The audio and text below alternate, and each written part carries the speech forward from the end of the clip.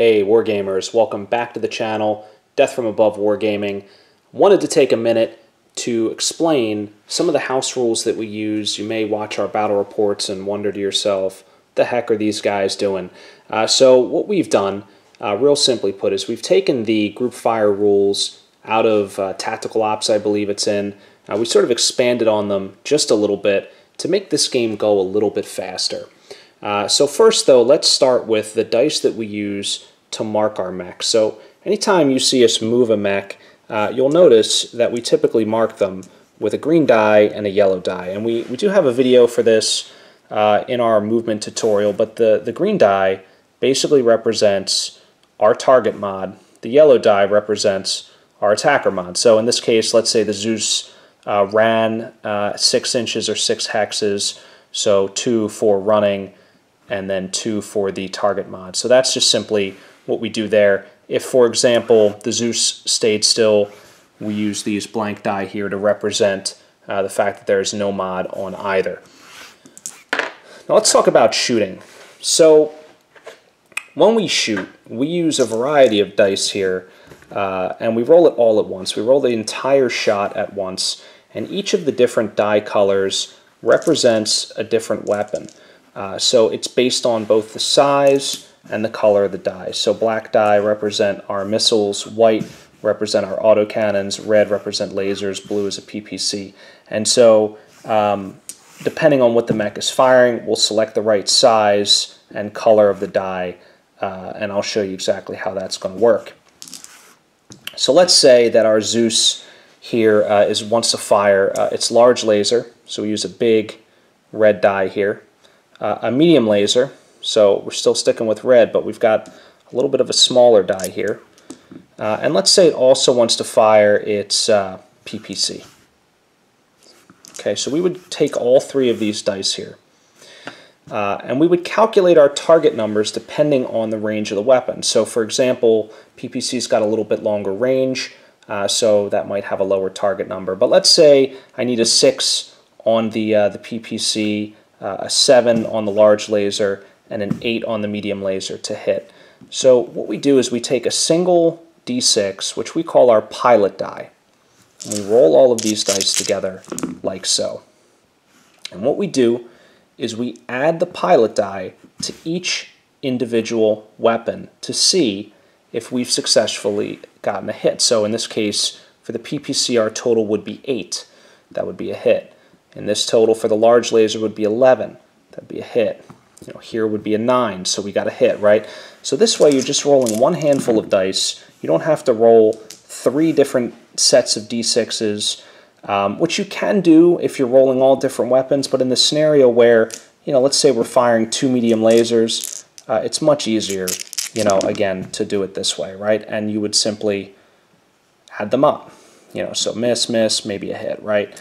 So that's how we do it. When we roll for location, let's go back to our original example here on the Zeus, we do the same thing. You roll them all up together, all the weapons that hit, all right, and then we simply pair them.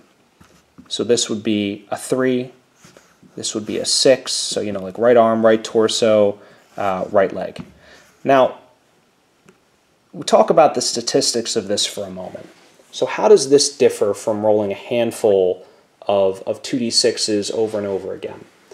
Uh, well, statistically, it actually does not generate more or less hits. Um, a 2d6 roll, uh, so you know if you want to consider that chain firing, chain firing is actually going to result in more uh, consistent. Like if you if you absolutely want to hit with something, it doesn't matter. You know you don't have to hit with all things, but uh, you know, you just want to hit with at least one weapon, you should chain fire your weapons.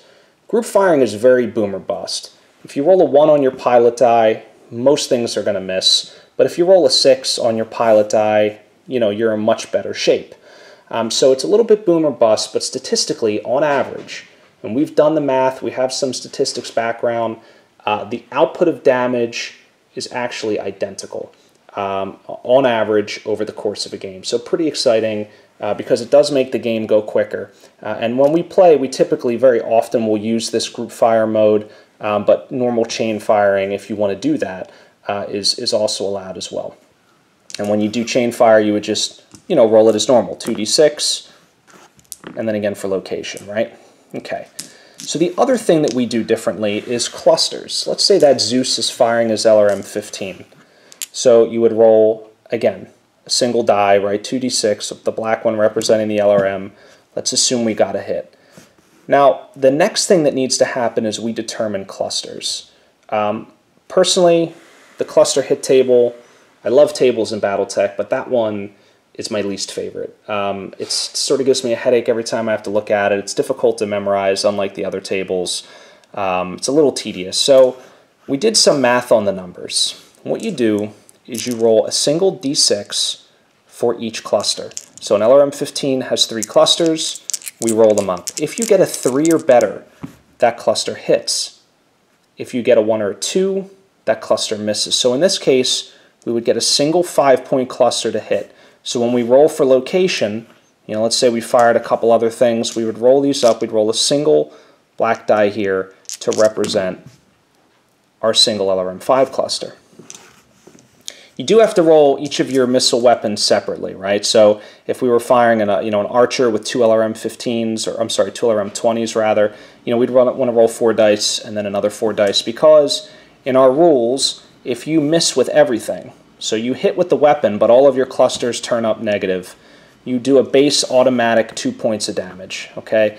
Uh, and that will help even out the damage statistically to put it more in line um, with the uh, with the base rules, right? The rules is written that cluster hit table. Uh, I will tell you, and I'll post up some shots. Statistically, it does slightly more damage on average. We're talking less than a full point of damage, though. Uh, and for the speed of play and the benefit that you get, uh, we love it. So give it a try, see if you like it. Let us know what you think in the comments. I know a lot of guys are very die-hard about the, the rules and, and the tradition of Battletech. Uh, we are too, but we also you know like to finish our games uh, and uh, you know get as many games in as we can. And so these two methods, uh, again, the, the sort of the group firing and then also the cluster hits, it's a great way to help speed up the game without actually impacting the statistics and the math behind the game. It doesn't really skew or give anybody an unfair advantage. Uh, so very exciting stuff there. So hopefully you found this informative. Thanks again for watching. Stay tuned for more from Death from Above Wargaming, and don't forget to subscribe.